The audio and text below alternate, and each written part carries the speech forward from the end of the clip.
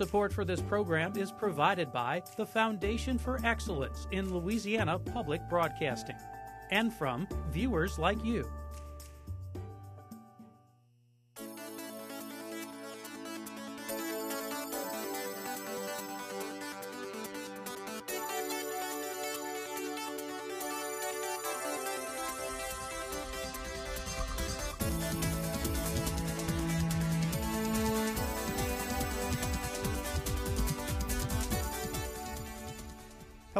Welcome to Louisiana Public Square. I'm Bob Mann, professor at LSU's Manship School of Mass Communication.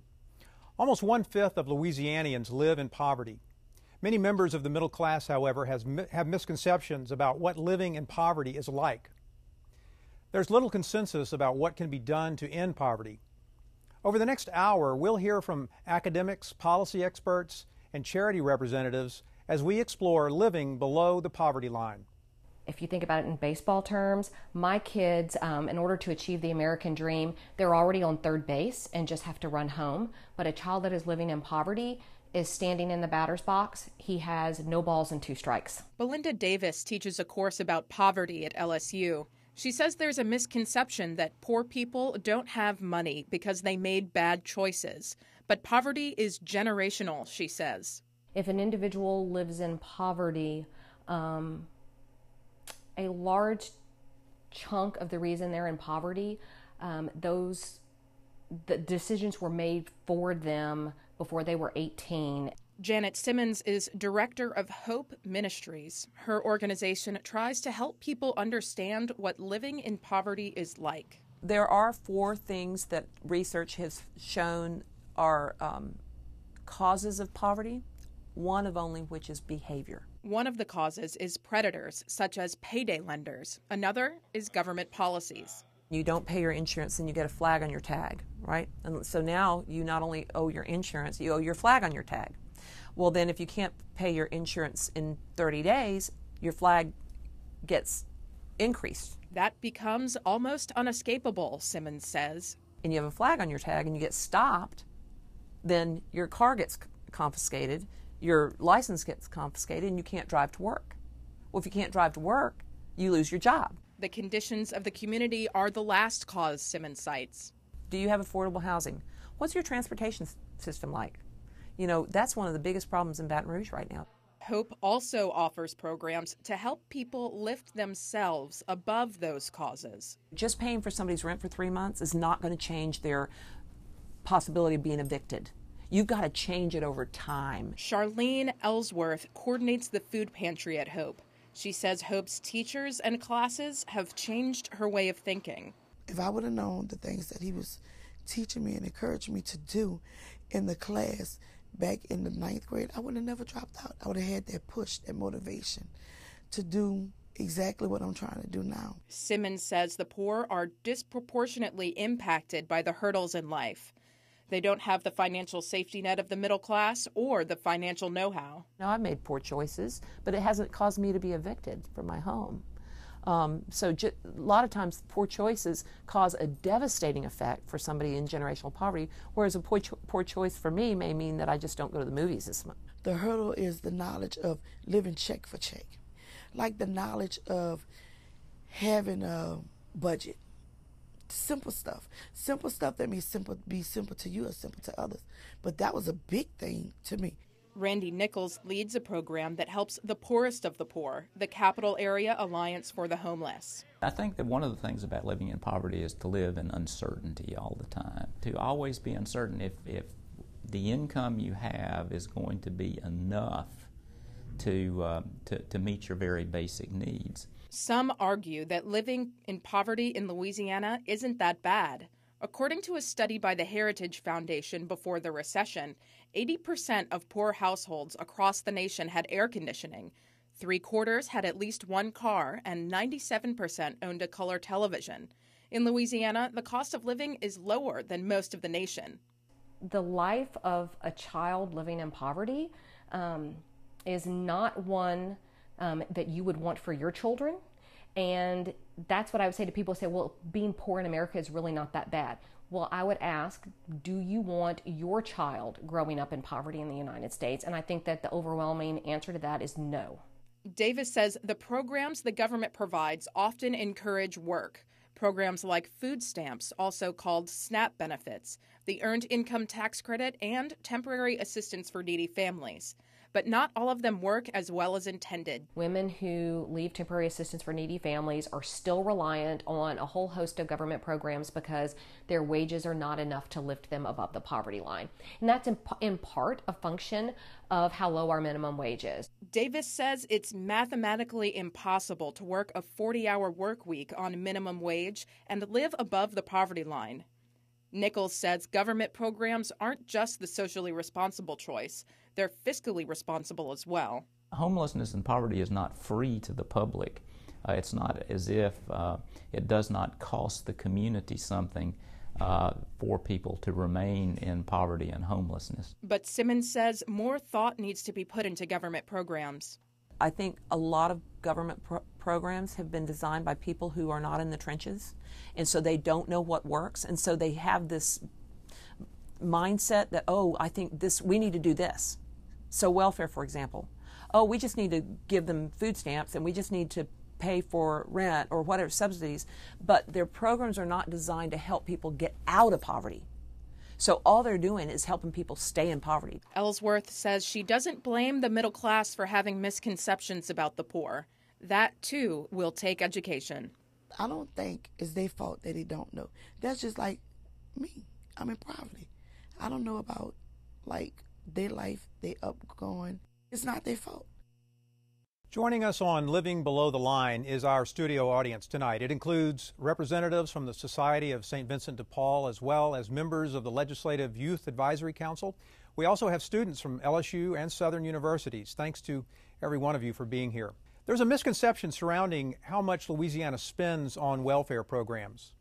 In a survey LSU conducted earlier this year, almost 40% of respondents said welfare programs get more money than any other part of the budget, but actually, welfare programs get less than 1% of state funds.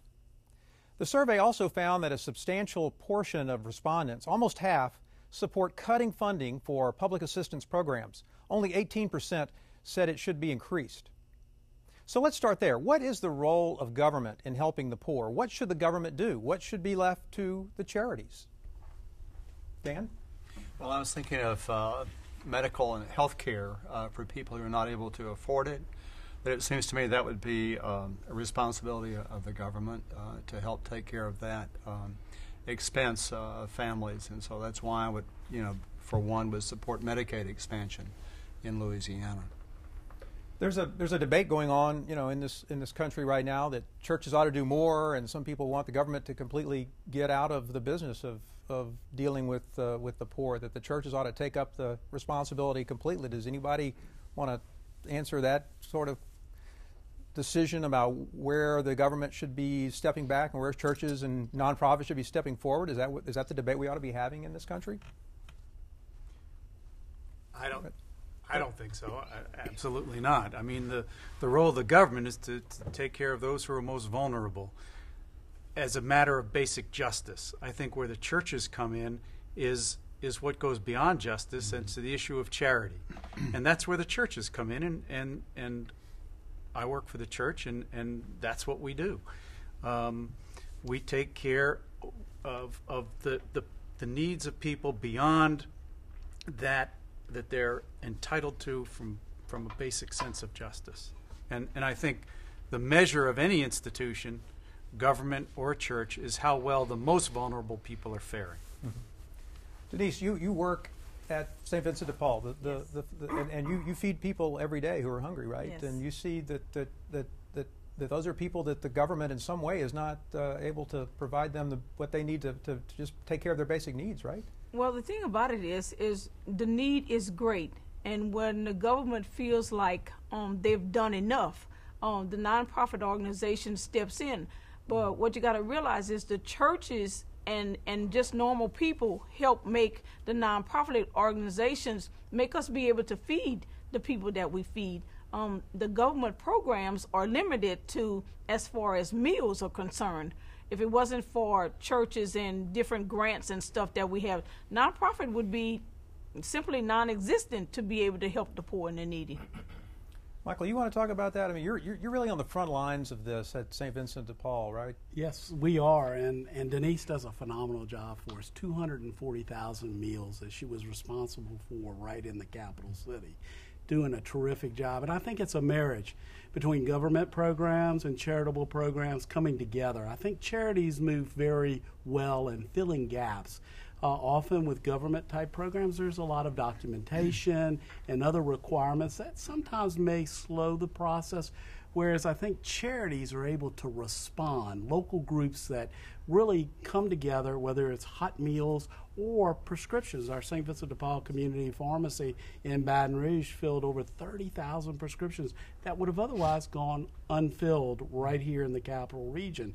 So it's really important that government programs and charities work together in a collaborative sense so that we can help people who truly need a helping hand. One example of that is Reginald Brown, your group, Holiday Helpers. You're, you're, you're doing some incredible work in this community. Tell us about that. Well, we sort of joined with uh, St. Vincent de Paul in making sure that we provide, but we do it just on three days or three occasions in a year Christmas, Thanksgiving, Christmas, and Easter. But the Thanksgiving meal that we serve, uh, we, we make sure that whatever's left, St. Vincent de Paul gets the, the, the, remainder part of that. But I think from a law enforcement perspective, in which I, I, I, uh, I have a career in of over 40 years, I've seen so many people come into the prison system and most of them that come into the prison system have average of a fifth grade education. And I'm talking about this average in a prison system. So that, and I've talked to prisoners and persons that are of the free society today. And one of the biggest things they find is that we have to in America realize that everybody is not going to go to a college and get a college degree. Everybody doesn't want a college degree, but everybody wants to be successful. They should have the opportunity. And I think this is where government, churches, and everybody can engage in encouraging us to develop early skill curriculum programs for children to be in from middle schools on up. You should know a kid should have some idea of what he or she wants to be. When they tell you they want to be a truck driver, a landscape architect, a mechanic, a, a barber, a beautician, a nail tech, and things of that nature, you should be designing an education platform by which they will go into that and start being able to uh, prepare themselves for that future, rather than graduate them or push them to graduate from high school, which a lot of them don't do. They fail because they become interested, disinterested, and uh, you don't give them that opportunity to make a, a good career selection. But if we did that, I think we would make a big difference and we'd start right at the youth, right at the core of where the problem is. You talk about education. We've got a couple of students in the audience tonight. What uh, young people, and I'm sure you work with uh, some some underprivileged youth, and you see the difference that education can make in in those lives. One of you want to comment on that? Oh yeah, I kind of agree with what he's saying. Like um, when it comes to uh, directing education, everything we learn is kind of pushing us to join college, you know, but there's a whole lot of other opportunities that we could have, like going into a job like welding or something like that. That there's no, if I wanted to be a welder, there's no opportunity for me to be a welder in my high school. They get rid of all those courses because they're dangerous or whatever. There's no wood shop and a lot of stuff like that. There's nothing to encourage you to do anything other than achieve college, and that's not for a lot of people, people who aren't academic minded. So I feel like the education system kind of leaves a lot of people in the dust when it comes to trying to encourage them to be productive in their lives. We've been talking in the state for as long as I can remember about workforce development, about having the, the, the schools more involved in, in, training. Does anybody have some thoughts about you know maybe why that that that those these problems still exist after we've been talking about them and dealing with them for so so so long? Well, I do. I work with a uh, school psychology consultation team in the lower econ- um, socioeconomic schools, uh, the elementary ones. And I think there's a large disconnect between what is supposed to take place at home and what a teacher's role is in a child's life. And because of this disconnect, there are just certain children that are growing up in an environment such as poverty where teachers don't want to have the patience to teach them, so they want to push them to a side where you you do you kind of um, you segregate these kids into an area where, well, we don't want to deal with these behaviors as a result of something we have no control over, such as poverty, so we'll push them to the side. So even if there are training plans implemented, they won't get that advantage because they're kind of discredited for something they have no control over, which, as he said, it starts at youth. So if we discredit at this kind of level, how will they ever have any opportunity, even at a college or a welding level, if, even if that was something they desired? What, what, what is the role of the schools in all of this? I mean, the, the, the, the schools get a lot of blame, but the schools also get a lot of credit for, for training. Um, so, you know, I've had the opportunity to go um, be a part of the public education system since I was in elementary school. Um, and there are, of course, all of these problems do exist, and I see them every single day. Um, but there are positives um, that I have seen in my experience as well. Um, you know, I, I, currently attend Baton Rouge High, and a lot of our students, you know, we do a lot of community service work. so that's dealing with people that live under the poverty line. But what's interesting to me is a lot of the students that volunteer um, in these community uh, involvement efforts are living under the poverty line themselves. Um, and but but what's interesting is a lot of our students, you know, one of my classmates, for example, um, she goes out and does work outside of school as well. So she works at a restaurant and um, every single day they you know they make fresh food. Every single day after um, you know they've closed all of the remaining food every single day they donate it to the soup kitchen um, and that food is served there itself. Um, and you know as a part of like school newspaper and publicity you know we publicize these events uh, and in a way it inspires other students to go out and do the same thing. So while these issues do exist in terms of you know sometimes we don't offer the education for those that don't want to go to college. Um, there are some positives um, that kind of shine a light on the rest of the issues that are going on so that even those that are living under the poverty line are doing something to help others that are also living under the poverty line. That's a great point, and, and I wonder if any of you have any thoughts about the way that our society vilifies the poor. And uh, we saw on, in the segment before about some people think that if you have a color television, you should you might, must not be poor. If you have a car, you must not be poor.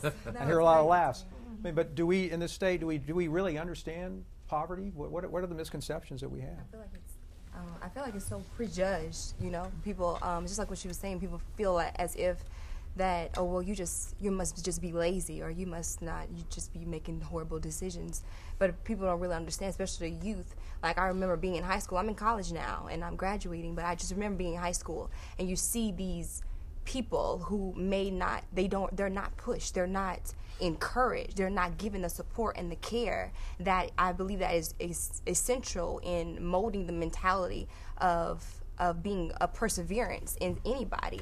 And when you lack that type of support from the people who you who you would think are supposed to be encouraging you to further your education, then that that constrains your way of thinking. So you're just like, man, like I'm I'm in this place and I'm by myself, and the people who are supposed to help me are not even willing to help me. So what is there for me to do? Or what can I do? And it's just like you, it's just a constant, you know, we talk about in America, you know, you pull yourself up from your bootstraps and this American dream that, that is so, you know, fabricated in a lot of different ways. But I feel like if we have more support within not only the school system, but even the government, you know, you giving me all this stuff, you giving me food stamps, all these things, but there's no real care. Is there real is there real support in this? But I can go into an impoverished community and I look at the roads and it's a mess. I look at the houses and it's a mess, and I look on the outside and you won't even support what I'm what is actually like um, city property, you know, in that community. Then how can I expect to even excel in this society when I don't feel like it supports me? Very well said. Very well said. So that's all the time we have for this portion of our show. When we return, we'll be joined by a panel of experts to further explore living below the line.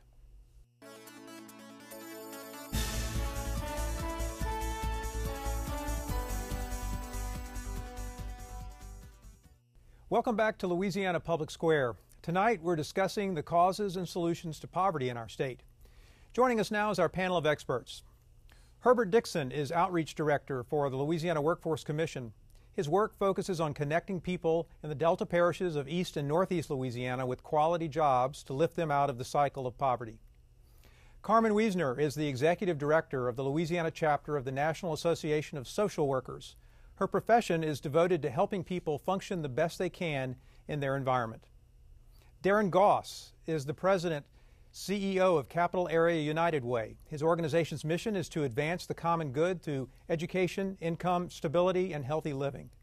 And Jan Moller is director of the Louisiana Budget Project, which monitors and reports on state government spending and how it affects Louisiana's low to moderate income families. Before we go to our audience for questions, I'd like to first ask each of you to talk about one tactic that you champion to overcome poverty from your perspective or your association or your organization. Mr. Dixon, would you like to start and tell us what that one tactic is? Well, I hope I'm in the midst of that tactic now. Uh, I work for the Louisiana Workforce Commission, and as uh, indicated earlier, as outreach director, focusing, focusing on the Delta area, northeast Louisiana. And in northeast Louisiana is an area where you have the highest amount of percentage poverty anywhere in the state of Louisiana. And hopefully, what we're trying to do with the new Workforce Innovative uh, Innovation Opportunity Act, which is a federal uh, program that started July 1, and that program seeks to remove barriers from uh, individuals seeking to work in the state of Louisiana. And my job is to get those individuals familiar with this new program. Ms. Weisner? Um, as a social worker, uh, I've been uh, involved with many facets of working with people, as do the other members of the profession. And we normally work primarily with the disadvantaged or those that are in need of some sort of supportive services. So many of the members of my profession are working with those who are um, in poverty or have significant behavioral health issues or they're in the child welfare system and at risk of homelessness um, and um, unemployment. Uh, so we work together. We start where the person is and we try and develop a process and a case plan to help them maximize their full potential. But there are lots of barriers that face those individuals, and we have to work together with the government and nonprofits and our faith based organizations to try and achieve an, a way to overcome those barriers. Mr. Goss. Yeah, I, I, have the great privilege of working in, a, in an organization that sits what we think is at the intersection of government, of the faith community, of the nonprofit sector. Um, and uh, one of the biggest strategies that we're undertaking right now is this idea that it takes multiple good solutions that are focused on results for individuals and families to really um, move the needle uh, for people in poverty so that there's no single issue or no single program solution, but a collection of well run quality programs that we can fund and leverage the, both the time, talent, and treasure of donors and volunteers to really move the needle. And so we're excited about that. Um, we, we work across geographic boundaries as well as political boundaries. Uh, we like to say we're politically agnostic. We will work with anyone who's interested in moving people from where they are, meeting them where they are, and moving them um, to financial stability. And so uh, that's our work, and we're, we're very excited about um, what we're doing in that in that space as a United Way. Very good, Mr. Moller. Uh, well, at the Budget Project, uh, we think government really has a, an important role to play in, in fighting poverty at all levels, starting with our youngest children. We know that uh, in the long term solution to poverty involves investing in the youngest children, birth to three. Uh, and there was a program here last month on Public Square looking at early childhood education. We know that's one of the best investments that the state can make in, in the youngest children high quality child care. Uh, if you provide that, we know a child is less likely to grow up poor, more likely to reach the middle class. In the middle term, I think we can do things that uh, Representative Dixon was talking about, and that's uh, workforce training, making sure people have the, the training to find good jobs, whether it's a, a, welding certificate all the way up to a PhD. This is something that the state can invest in. But then uh, there's also a lot of people who need help today, and I think government policy can play an important role right there. And that's where programs like the Earned Income Tax Credit, like a higher minimum wage, and like expanding Medicaid can really make a difference in the lives of people. Not everybody can be a welder, not everybody can be a beautician. There's still people who are going to be working in the tourist industry, in, in retail, uh, at restaurants, at jobs that don't, you know, at hard jobs that just don't pay enough to make a living wage. And I think government can play an important role in providing supports and letting people have the dignity of, of a paycheck that puts a roof over their head, uh, food in their stomach, and provides them with a basic safety net. Okay, so thanks for getting us off to a good start on this. Let's uh, go now to our participants for uh, their questions to our panelists. I'm going to start with uh, Michael Acaldo and your, your question. My question is to Darren Goss of the United Way. How can individuals and businesses get behind and get behind an effort, the Capital Area United Way, to combat poverty? What can they do? Uh, Constable Brown's got holiday helpers. He's engaged, but not everybody is as innovative and creative as, as Constable Brown. What can individuals, businesses do to get behind the work of United Way? Yeah, I think, Michael, I think one of the first things that um, I think in general that businesses and individuals can do is a lot of what's been discussed already, and that's really understand what it means to live in poverty and really understand that um, people who actually find themselves in a situation, uh, for the most part, I've never met a person who would prefer to eat at a soup kitchen. I, I think they would prefer to eat at home. And so I think a, a big part uh, of what um, businesses, individuals can do is really educate themselves about what this what this situation is. Then, um, not only give, and, and, we, we promote giving to the United Way and to charity, but also um, lend time and talent to the efforts as well. I think, uh, and I, someone uh, said this earlier. Um, when when you just do uh, sort of we call it checkbook philanthropy, write a check and then and then go away, that's powerful. But it's even more powerful and even more substantial when you write that check, you volunteer at your location or at Hope Ministries, and you look across the table from someone and you provide that, that glimpse of hope. I think you can make it. I think um, this is there's a there's a way out for you. Let me talk to you. So we we promote things like mentoring. We promote things like tutoring. We promote things like coaching through our women's leadership program. Uh, these women are coming face to face with single moms, trying to work with them to move them up. Sometimes it, that that volunteer hour, that time that people spend. Um, letting other people know that, that they love them and that they're human and they care about their humanity is so impactful and extends the reach of that dollar. And, and so I think that's a big part of what, um, what folks can do to support uh, folks who, who live in this, in this situation. I want to go to Ruth now. Ruth, um, you've got a question about the intersection of poverty and health care and the impact of that. Share that with your with the panel. After spending 35 years at Earl K. Long Hospital, I can very well tell you what it's like to deal with folks that are in poverty, all the students and what have you. That the place wasn't what it should be, but it could have stayed right there to help the people. We have had so many come through that needed some help. And where they have taken these people now, it's horrible. So where, where do we stand? Somebody want to, uh, Jan, you want to take that question about uh, health care and the, the role it plays in poverty? Absolutely. I mean, one of the things about healthcare, I mean, we not only need it to stay healthy, but but we know that uh, healthcare bills are, are the leading cause of bankruptcy. And so, so many people who maybe maybe you're living below the poverty line, or maybe you're just above the poverty line. You have enough each month to pay your bills, but if something goes wrong, if you get sick or you have an accident, you can be left with medica- medical bills that can plunge you into poverty very quickly. And I think that's why Medicaid expansion is such an important policy, not just for the public health, but because uh, it will help people uh, keep them from having those massive bills when something goes wrong. There was a study in Oregon uh, where they did an experiment, and, and a bunch of people got Medicaid, uh, and some people didn't get it. And they found that the people who got Medicaid, they uh, it virtually eliminated catastrophic medica- medical expenses for that population. So when we talk about a safety net, we're not just talking about you know a welfare check. We're really talking about a safety net that helps you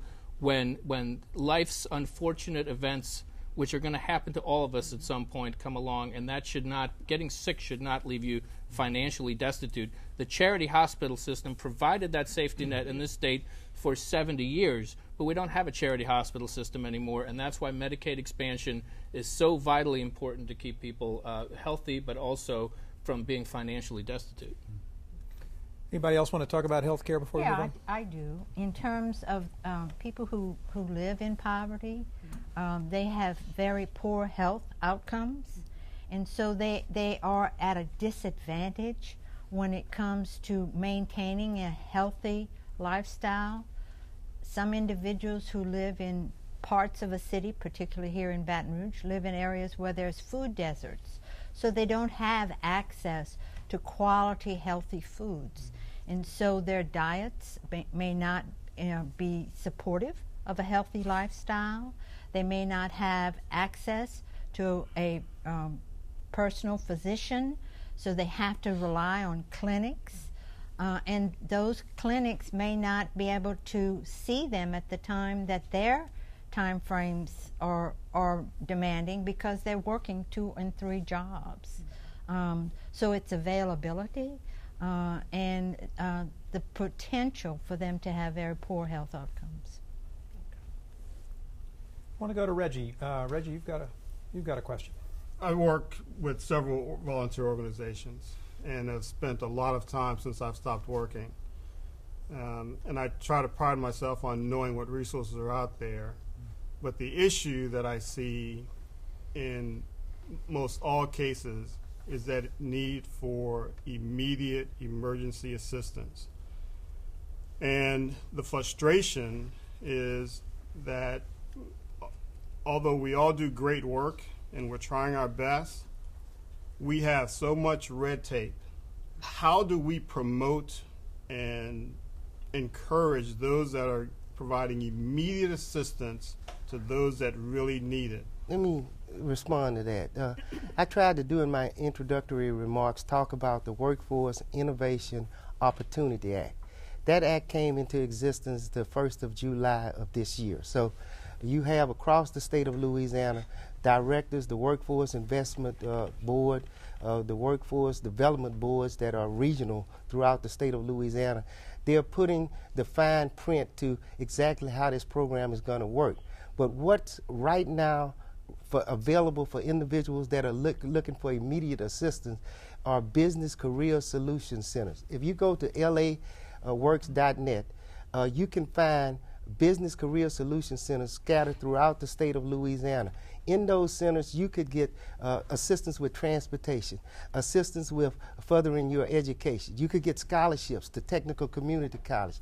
You could get uh, information on how to form your resume. You can get tutorial help to help you uh, pass the HiSET, which uh, took the place of the GED. I mean, right across the state of Louisiana, federally funded through the WIOA Act, are workforce uh, efforts in each community where individuals could come right now, today, tomorrow, and start a process by which they can build a pathway to better their lives. And it's a little known uh, uh, entity out there in the, in the greater uh, uh world of Louisiana. And hopefully, the Workforce Commission can get this word out that uh, we have those things available for citizens.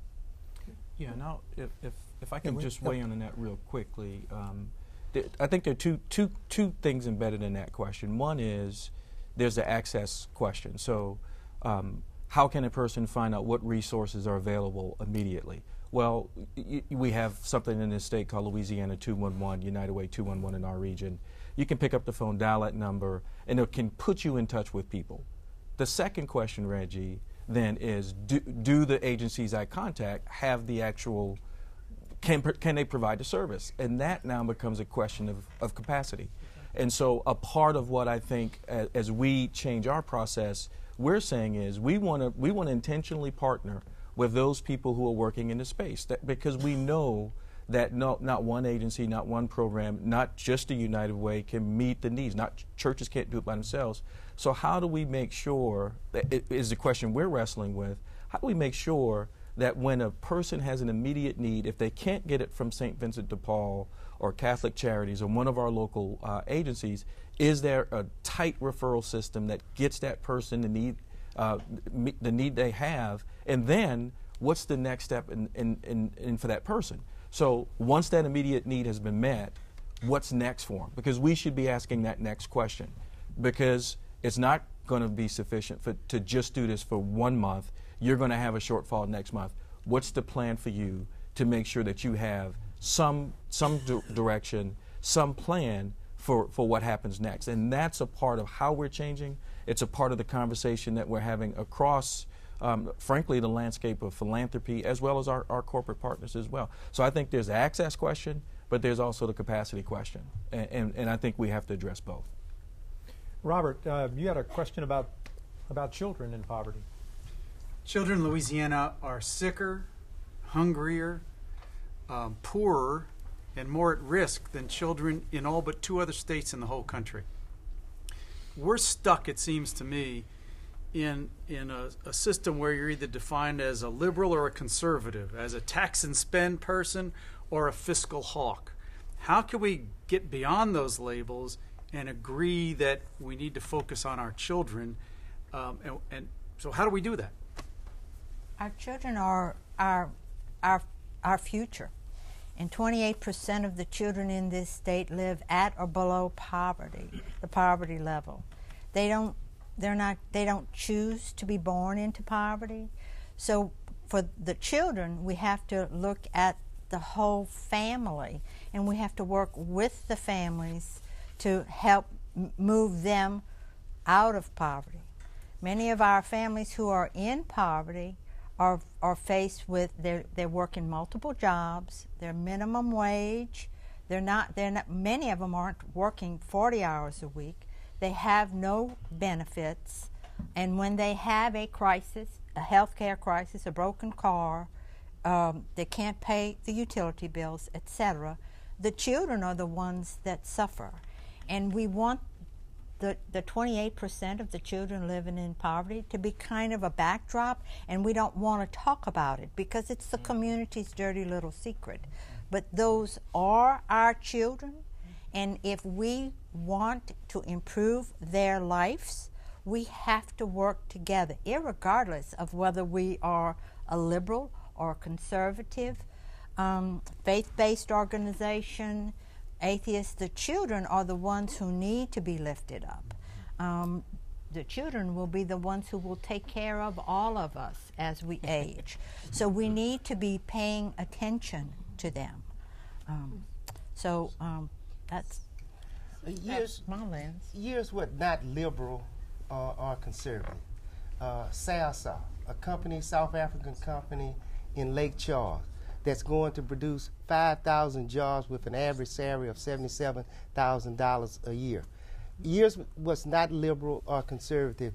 Uh, a company from Lithuania that's going to exist in Pollock, Louisiana, that's in Grant Parish, that's going to provide 584 jobs with an average salary plus benefits of $55,000 a year.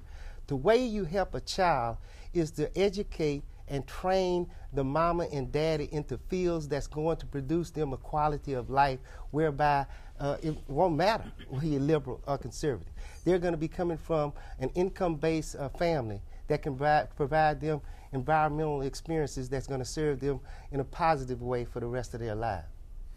Jan, I want to get somebody else in here, but I want I want you you you, you deal in this from the, the intersection of politics and, and these issues, right? Your question is right on point, and this speaks to why income support programs like the earned income tax credit and, and frankly a higher minimum wage are so important because research very clearly shows that if we can bring parents uh, and families just slightly above the poverty line, but, but so that they're not living hand to mouth every month, the chances of those children graduating from high school, going on to becoming productive citizens, staying out of the criminal justice system, go up. So, so when we invest in families we invest in communities and we invest in those children. And I think, uh, uh, you know, this notion that, that if we invest in low income families, we're taking from somebody else, I think is what we need to get beyond politically because when we lift up people at the bottom, families at the bottom, we all are invested in that. And, and I think we're stronger as an economy, as a community, when everybody does well. And, and I think government uh, shouldn't isn't solely responsible for that by any stretch, and, and uh, charities and, and families have to do their part. But I think if we can just lift families just above that poverty line and into the middle class and provide a sound safety net underneath them with health care policies and income supports, uh, that it helps everybody. Because don't forget, when you give somebody a higher wage. When they when you when somebody has a job that, that, that, that pays a living wage, they spend that money in those communities. Those that money supports jobs and it becomes a virtuous cycle that helps not just the families but, but the children and, and kind of moves us all forward. So I think uh, it, you know, and government policy has a very important role to play in that. You know, I, I, I just want to just add something to that. Um, we have a new superintendent in East Baton Rouge Parish Schools, and I work with two superintendents, one in St. Um, Helena and the other one in West Feliciana. And it's, it, it's, it's remarkable to me that every time I talk to those superintendents and they, and they talk about the issues that they face their school districts, um, they, always, they always lead with this when we go talk to them what's best for children. And I think uh, on, on both ends of the spectrum, I think the question we have to ask ourselves as, as people who work in the space is, is what we're doing best for children. Policy wise, program wise, is it best for children? If it's not, then we probably should take a step back and really think about what we're doing. Um, because if it's not, then we, we probably need to take a different approach or different strategy. Bob, may I just yeah, Alyssa? in on this right here? Um, I, I the as far as the education level, we emphasized, you know, children are 20% here in Louisiana, say Louisiana. I guess my question is, I noticed um, working in the educational community, the elementary schools here locally, that a lot of the children there in those um, public or the public schools versus the private sector of schools, their scores are lower. Is there how are they going to change? the educational output for those kids versus the pri- the kids in private schools when clearly they are mostly in poverty and they can't afford private schooling which clearly indicates that they're not going to get the same education which means we're kind of creating perpetuating that cycle of lesser education and it shows in the scores in the schooling How, what are Well, we, many is there the- programs that we're implementing that we can when change you, these When you look at the children um, who are in the, the private schools and whatever, they have probably both parents in the home. The parents are there in the afternoon and at night to help guide them in their studies, to help tutor them. On the on the other side of the spectrum, um, this may be the home with just a single parent. She's working two jobs, uh, and by the time she gets home, the children probably are asleep. So she's she may herself not have um, more than a third or fourth grade education and doesn't have the capacity nor the time to sit sit with her child and do the tutoring. Many of the children in those lower uh, grades, if you ask them, they don't have any books at home. No one reads to them. So there's a there's a, a whole deficit there. And that's why when the schools look for volunteers in school to help those children, you know, someone tutoring, someone reading to the children, uh, someone paying attention to them to, to, to help guide them. And so it is a community investment to help particularly those children. You know, I heard Dr. Kelly Joseph, who's the superintendent of St. Helena Schools, one of the one of the lowest performing school districts in the state, but improving. She said this one day at a board meeting. She said that the expectations we set, the the way we talk about our schools, really set an expectation in that classroom for the child because they hear what we say about their schools. And so a, a big part of I think what can help shift some of that because because in every school district in every southern state, poorest performing or highest performing, they're children who succeed. They're children who go on and become very successful in life. And so, a part of what money can't buy is what we talked about earlier, and that is a caring adult. Maybe it's not the mom, maybe it's not uh, uh, uh, uh, uh, another caring adult, but maybe it is a corporate volunteer who's going to sit down with that child and read with them. Maybe it's a program like we sponsor with the United Way called Dolly Parton Imagination Library that sends a book age appropriate to the home addressed in the kid's name so that they start to create a print rich environment, a library for that kid from the time they're zero to five. It's those types of opportunities, the expectations we set, the language we use about whether they can achieve or not, that I think creates sort or and it actually perpetuates this idea that somehow they're inferior, somehow the school is inferior. And so now why do I even try? I think we have to change our language when we talk about children and when we talk about schools and, and instead of a deficit mindset, talk about the assets. There, there's some great things going on in these communities, and I think we need to tap into that and provide the extra supports um, that may be non traditional. Challenge our schools to, to open up hours mm-hmm. that create the opportunity for that single mom to be there to help that child after school. So I just I just want to make sure that we that we start to talk differently and set a different expectation for our, for our children. You're Let's go right. to we do have to do that, um, but we also have to look at some realities. I mean, there was a study, I guess, a few months ago that showed the southern states have probably the highest suspension rate uh, throughout the United States. And if we don't have enough systematic caring where we're going to keep the kid in school no matter what happens to make sure they get the education, then we're going to lose those kids. I mean, I see them because, you know, when they are suspended from school, they come into the Gardere Initiative. Mm-hmm. And I sit with them and I make sure that they do their work. But if, I'm sorry, they have to do that in school. That is what the school is there for. You can't just say, strike one, you're out. Sure. You can't do that. Sure. And, and I'm not talking to you guys, but someone want to take take that? Yep. He, he bring, he, Reggie brings a, a, very important point. When you have a school year that's over 170 something days a year, and uh, children are in that uh, school environment uh, seven hours a day, five days a, a week. Uh, they're in that school with the custodian, the teacher, and the other individuals probably more than they are with their fathers, and in some instances, their mother that's working two jobs. And so, uh, if you put that kid out, what several things are at play. Many local school systems don't have the financial base to continue with alternative programs that can remove that student from maybe his uh, regular setting, but continue him on an educational track where he's not missing too much. Now you have school systems because of dollars, they have to send that kid home. And at home, there's no one there that's going to train that student. And if there are no programs like you have, then uh, that student uh, is, is, even further behind. And that's going to be a student down the, down the road that we're going to be paying for in one way or another. So you, you bring out a very important point. We have to find and devise means by which we can keep those kids in school.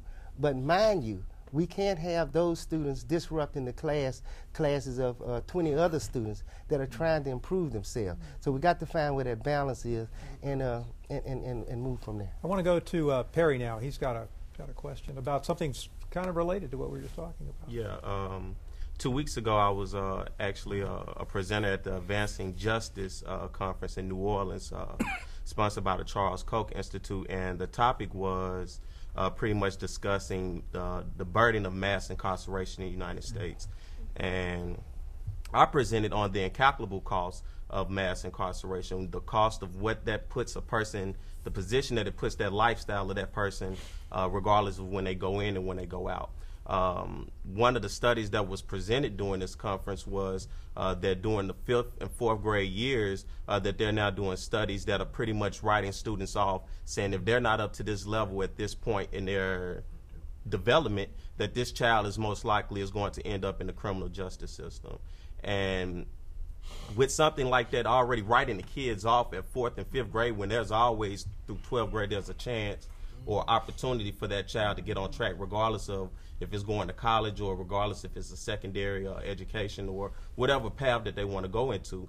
Uh, but the main issue was what do we do to decrease recidivism as far as if I go to prison, um, I may not have any skills, I may not have any trades, I may have not an education to once I get out, what can I do in order to get myself back on track? Because uh, the United States is the number one, incar- it incarcerates more citizens than any other uh, country in the world, and Louisiana being the number one incarcerated state in the within the United States, uh, we have so many people that go into the system where the education system may have given up on them, where society may have given up on them, but once they get out, You have those who want to make a change, but because when they get out, the burdens of what incarceration has done to them, they may not have the ability to go to college because they don't have the access to Pell Grants. They may not have the ability to go to college because of the, the, the lack of ex- access to student loans or just the simple fact of jobs. Who wants to hire you when you have to put on your job application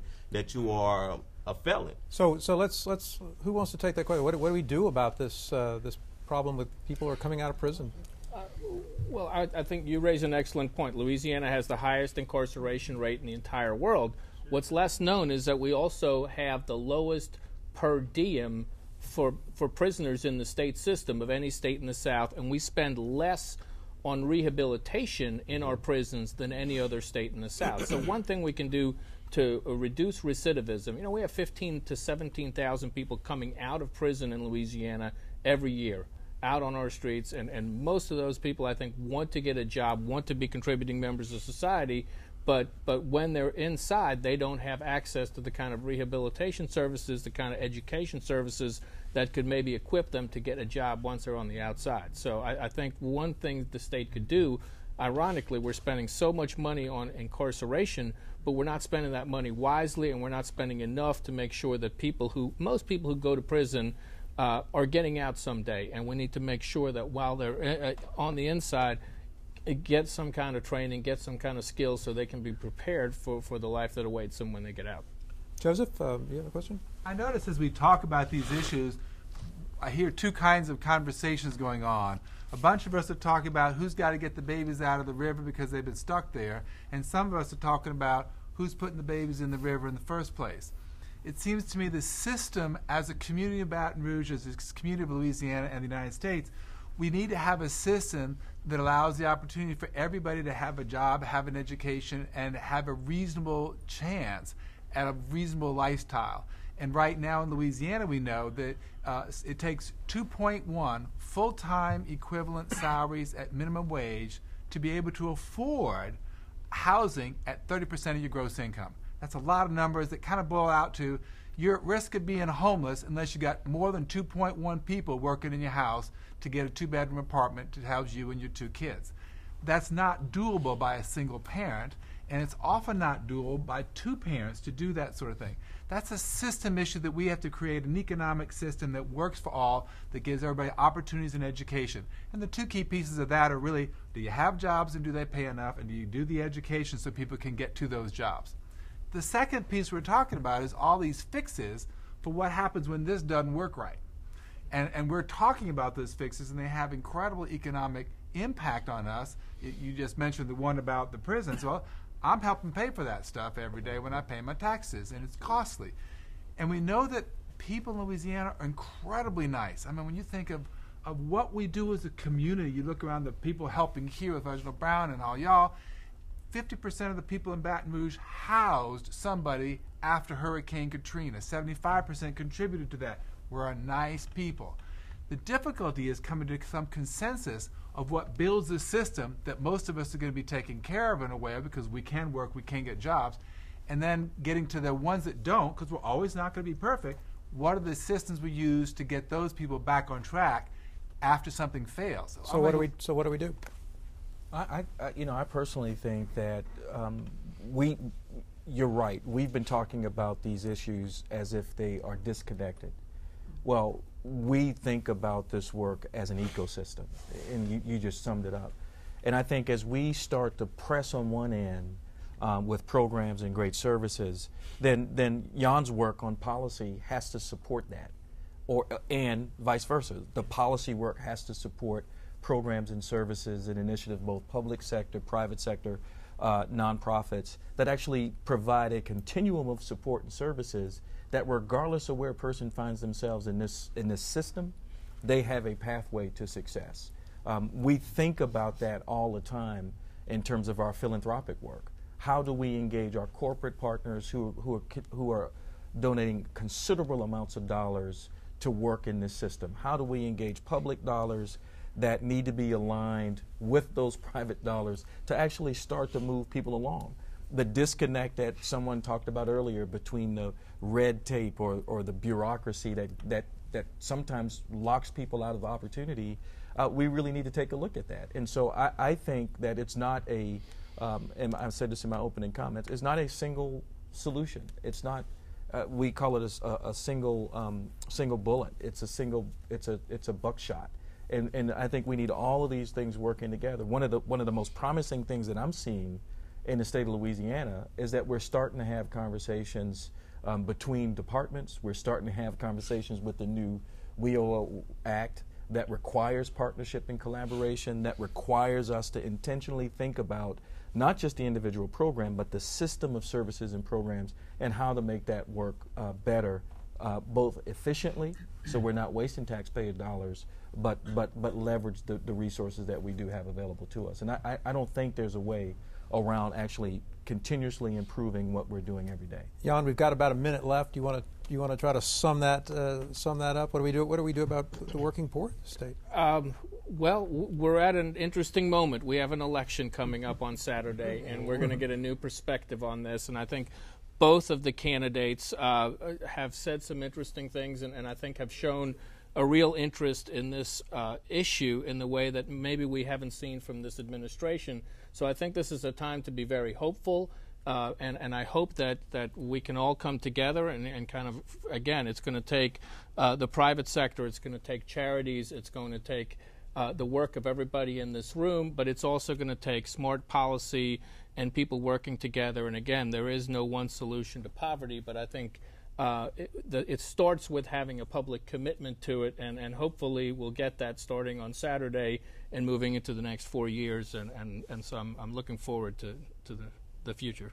It's a it's it's a consequential election that we're we're having, and that issue of poverty has not been discussed very much, has it? No, it hasn't. It, it, has not been discussed enough, but but it certainly has not been on the agenda for the past eight years, and and I think so so moving forward, we get to we get to reset this issue, uh, and and I think this is a, a, time to really kind of refocus, recalibrate, and we're going to have a big conversation about the budget and state policy. And right. I think. Uh, you know, I used to not be in favor of term limits, but but I've changed my mind. I'm glad that we get to kind of reset the uh, reset the stage, and, and hopefully poverty will play a central role in, in the next administration.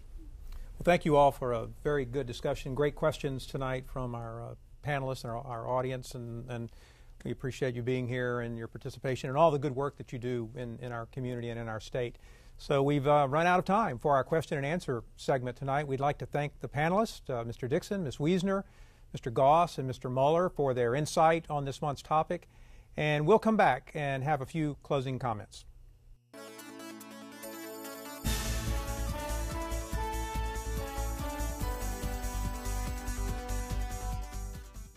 Well, that's all the time we have for this edition of Louisiana Public Square.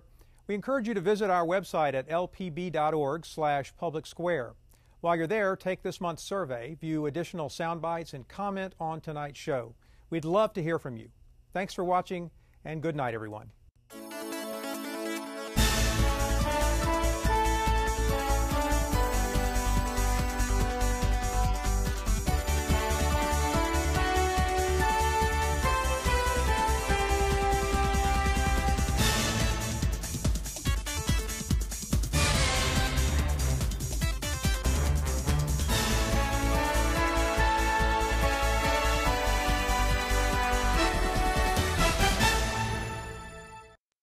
For a copy of this program, call 1 800 973 7246 or go online to www.lpb.org. Support for this program is provided by the Foundation for Excellence in Louisiana Public Broadcasting and from viewers like you.